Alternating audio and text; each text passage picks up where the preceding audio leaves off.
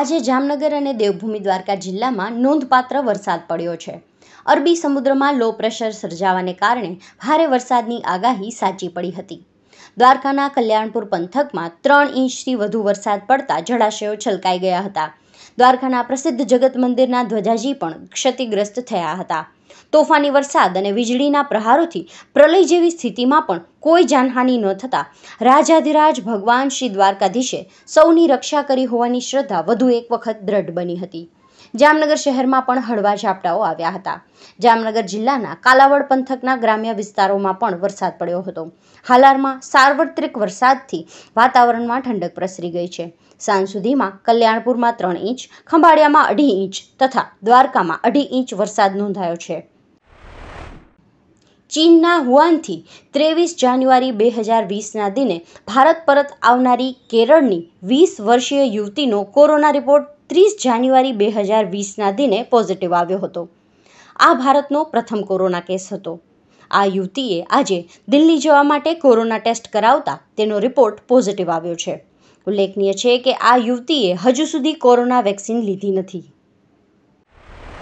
ગુજરાતનું પ્રથમ સાંધ્ય દૈનિક નોબત લાવ્યું છે વર્ષ બે હજાર એકવીસ બાવીસની આકર્ષક અને રીડર ફ્રેન્ડલી લવાજમ યોજના. એ બી અને સી ત્રણ યોજનાઓમાં પસંદગીની યોજનાનો લાભ લઈ વર્ષભરના વાંચન સાથે મેળવો બે લકી ડ્રોનો લાભ. અને હા, આ વર્ષે દરેક યોજનામાં એક ગેરંટેડ ગિફ્ટ પણ છે. આને જ કહેવાય સોનામાં સુગંધ.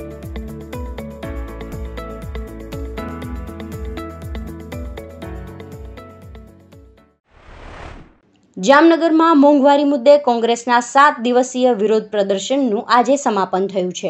આજે સુભાષ બ્રિજ પાસે કોંગ્રેસે મોંઘવારી વિરુદ્ધ જનસંપર્ક અભિયાન હાથ ધરી સહી ઝુંબેશ ચલાવી હતી.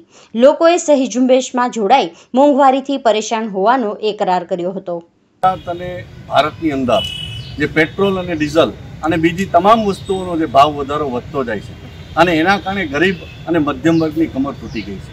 છેલ્લા બે વર્ષથી ભારતની અંદર અને ગુજરાતમાં કોરોનાની મહામારીમાં પણ લોકો એકદમ બેરોજ બેરોજગારીથી પીડાઈ રહ્યા છે.